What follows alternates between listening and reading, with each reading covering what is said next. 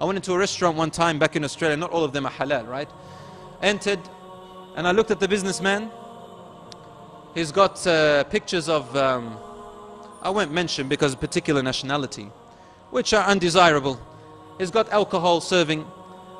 And I thought, subhanAllah, someone brought me there. I asked, I said, brother, is the food halal? He said, Alhamdulillah. Alhamdulillah. He's trying to say that, look, I'm saying Alhamdulillah, meaning I'm Muslim and everything is halal. Alhamdulillah on what? Alhamdulillah that I'm serving alcohol, that I'm earning wealth from haram. Alhamdulillah that I am making an environment for something where the shaitan can come in. Alhamdulillah that I am spending my money on haram and earning it from haram. Alhamdulillah only when it involves money but not Alhamdulillah when Allah has guided me to Salat and fasting.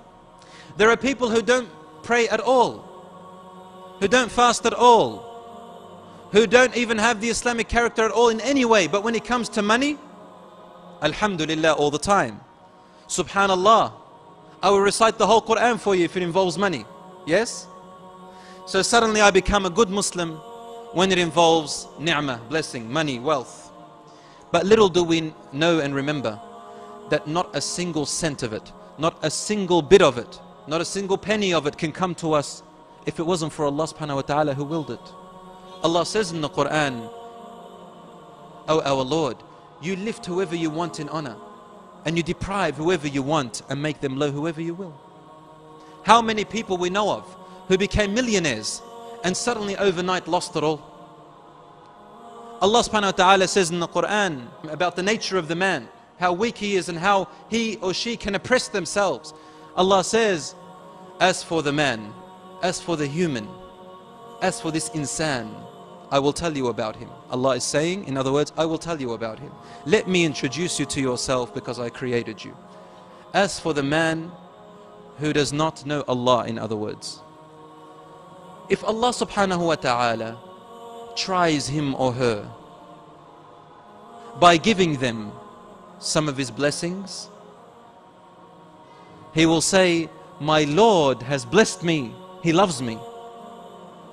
Listen to the words carefully, brothers and sisters, they're a deeper meaning than what you think.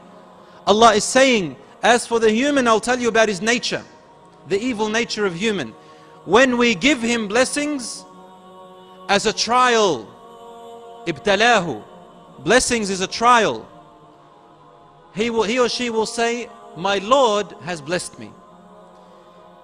In the sense that my Lord loves me, I am favored more than anyone else. That mentality. Not the type that says, Subhanallah, Allah has favored me and given me blessings, I thank Him and I will donate from my wealth and I will remember this. No, not like that. Naturally, man, if Allah gives them, they think that Allah has blessed them in a way where they are better than other people. And I've heard this many times. There are people they don't know Allah subhanahu wa ta'ala, wallahi. But because they have lots of richness or whatever, they say, God must love me, therefore I don't have to pray much. وَأَمَّا إِذَا مَبْتَلَاهُ And if Allah tries them in another way, فَقَدَرَ عَلَيْهِ رِزْقَهُ He makes a qadr, He wills that their rizq, their provision is cut off or restricted. He or she will say immediately, رَبِّي أَهَانًا my Lord has humiliated me. He has left me. And they start saying things like, God is cruel. Why should I worship Allah? Since He has humiliated me and left me like this? This is what happens. He begins to turn away. Rabbi ahanan. Allah says, Kalla. He replies, Kalla. A firm no. Allah says, Kalla. Never. I do not humiliate people just like that nor do I give them blessings for the mere fact that they are better than anyone else. This is not how you judge a person whom Allah loves and doesn't love. بل لا تكرمون